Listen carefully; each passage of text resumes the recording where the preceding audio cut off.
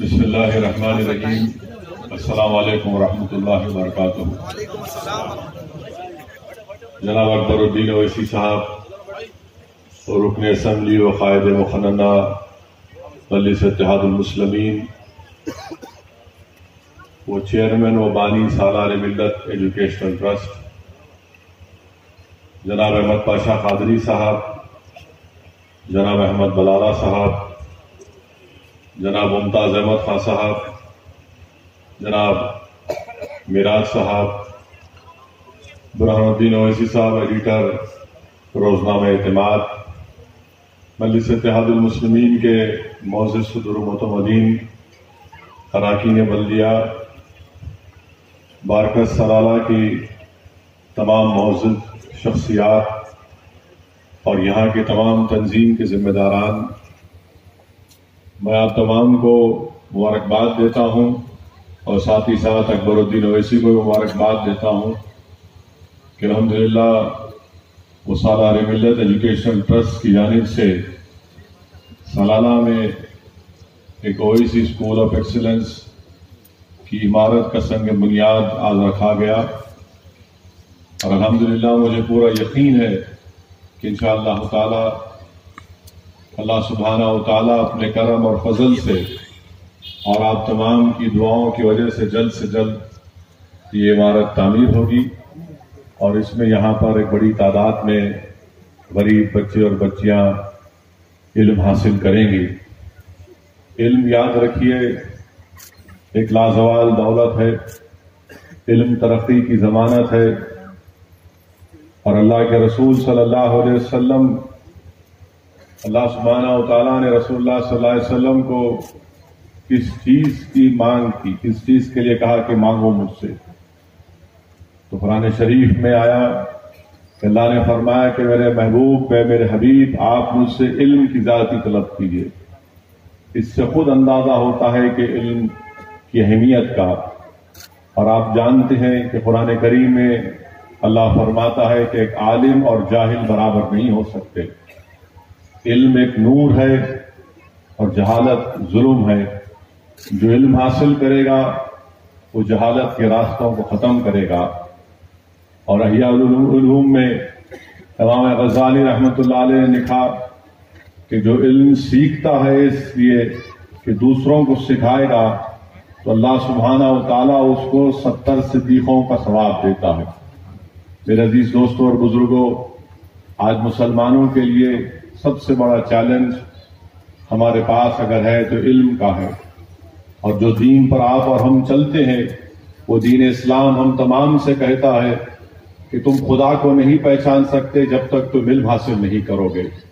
یہ دین ہم سے کو پیغام دیتا ہے کہ تم جاہل رہ کر دین اسلام پر عمل نہیں کر سکتے۔ جس یہ دین ہم سے مطالبہ کرتا ہے، اس دین کے تقاضے یہ ہے کہ ہم علم حاصل کریں، تعلیم یافتہ بنائیں۔ اپنی اولاد کو تعلیم یافتہ بنائے اور خاص طور سے پرانے شہر میں جو ہمارے ناخوانگی کا تناسب ہے، چھ اور چودہ سال کے بچوں میں باویس پرسنٹ مسلمان بچے الٹریٹ ہیں۔ وہی ہمارے ہندو بھائیوں میں صرف نائن پوائنٹ سکس پرسنٹ ہے۔ اور پندرہ اور اکیس سال کے درمیان میں ناخوانگی کا تناسب الٹریسی کا تناسب مسلمانوں میں فورٹی سکس پرسنٹ ہے۔ اور ہمارے ہندو بھائیوں میں بائیس پرسنٹ ہے۔ اتنا سب کرنے کے باوجود بھی ہم کو اور کرنے کی ضرورت ہے۔ اور زیادہ سے زیادہ ہم کو کوشش کرنی چاہیے کہ ہمارے بچے اور بچیاں خاص طور سے بچیاں علم حاصل کریں۔ اور میں نے بھی اپنے ایم پی فنڈ سے یہاں پر بارکس میں ایک کروڑ روپے دیا ہوں۔ اسکول اور کالج کی بلڈنگ کے لیے انشاءاللہ اللہ تعالیٰ وہ کام شروع ہو چکا ہے۔ اور جیسا یہ کام تکمیل کو پہنچے گا آپ تمام کے سامنے اس کا افتتاح بھی کیا جائے گا۔ میری آپ تمام سے دبن گزارش ہے کہ ہم تمام کو کوشش کرنا ہے کہ ہم اپنے بچوں کو تعلیم یافتہ بنائیں، ان کو علم حاصل کرائیں۔ خاص طور سے ہماری بچیوں کو صرف دسویں جماعت تک پڑھا کر ان کی شادیاں مت کریے۔ یقیناً شادی کرنا ہے ہر باپ کے لیے۔ ایک بہت بڑی ذمہ داری کا کام ہوتا ہے کہ اپنی بیٹی کی صحیح عمر میں شادی ہو جائے، اچھے لڑکے اور اچھے گھرانے میں کی جائے۔ یقیناً میں اس ذمہ داری کو سمجھتا ہوں، مگر ہم تمام کو کوشش کرنی چاہیے کہ ایسے پورا دور میں بچوں سے زیادہ ہم کو اپنے بچیوں کے علم، تعلیم کی طرف بھی زیادہ توجہ دینے کی ضرورت ہے۔ اکبر الدین اویسی صاحب کی جانب سے چلائے جانے والے جتنے سکول ہیں، اس میں الحمدللہ تیرہ ہزار بچے مفت تعلیم حاصل چیلنج علم کا ہمارے سامنے ہے۔ کہ ایک آدمی یا ایک سیاسی جماعت یا ایک شخص نہیں کر سکتا، تمام کو مل کر اپنے اپنے طریقے سے کوشش کرنی چاہیے تاکہ ہمارا کوئی بھی بچہ اسکول سے محروم نہ ہو سکے۔ میں آپ تمام اہلیان بارکہ سے سوالہ سے اپیل کرتا ہوں کہ آپ تمام کا تعاون، آپ تمام کی تائید ہمیشہ رہی ہے۔ اور آپ تمام کی کوشش بھی ہم تمام کی ہونی چاہیے کہ ہماری بستی میں، ہمارے اس علاقے میں کوئی بھی بچہ اسکول سے محروم نہ ہو، بلکہ ہر بچہ اور بچی اسکول میں پڑھے، علم حاصل کریں طاقتور بنے، اور بغیر علم کے ہم طاقتور نہیں بن سکتے۔ اگر جہالت کا خاتمہ کرنا ہے، ظلم کا خاتمہ کرنا ہے استحصال کو ختم کرنا ہے۔ اگر مسلمانوں کو اپنا کھوئی ہوئی عظمت کو حاصل کرنا ہے، اگر مسلمانوں کو مومن بننا ہے، مسلمانوں کو ظالم باطل طاقتوں سے مقابلہ کرنا ہے، تو یہ تمام چیزیں کیا صرف علم سے حاصل ہوتی ہیں۔ اور اللہ کے رسول صلی اللہ علیہ وسلم نے دنیا کی سب سے پہلی یونیورسٹی کہاں قائم کی؟ مدینہ منورہ میں۔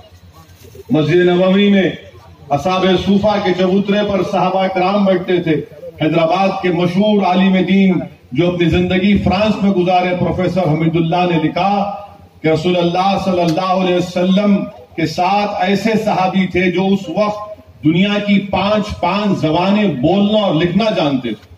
اب آپ اندازہ لگائیے دین کا پیغام ہے دین کا تقاضا کیا ہے۔ بہرحال میں مبارکباد دیتا ہوں اکبر الدین اویسی صاحب کو۔ اور دعا کرتا ہوں کہ اللہ سبحانہ و تعالیٰ ان سے اور یہ نیک کام لے اور یہ جو ادارے آج قائم کے جا رہے ہیں اللہ تعالیٰ اپنے فضل اور کرم سے اس کو آباد اور قائم رکھے اور جس نیک نیتی کے ساتھ اس کام کا آغاز کیا جا رہا ہے اللہ سبحانہ و تعالیٰ ان کو اس کے مطابق اجر فرمائے۔ اور یقیناً یہ کام سیاست دانوں کو کرنا ہے کیونکہ اور تو حاصل کرنا بہت آسان کام ہے مگر عوام کو کچھ واپس دینا یہ سیاست دان کی سب سے بڑی کامیابی ہے۔ میں پھر سے آپ تمام کا شکریہ ادا کرتا ہوں کہ آپ نے اپنا قیمتی وقت نکال کر آج کے اس تقریب میں اور خوشی کے موقع پر آپ نے شرکت کی۔ یقیناً ان شاء اللہ تعالیٰ مجلس اتحاد المسلمین اور اس کے تمام اراکین آئے دن یہ کوشش کر رہے ہیں کہ ملت اسلامیہ کو ان کے جائز حقوق اور مطالبات جو ہندوستان کے کانسٹیٹیوشن نے دی ہیں، وہ آپ تک ملے، آپ تک پہنچائے۔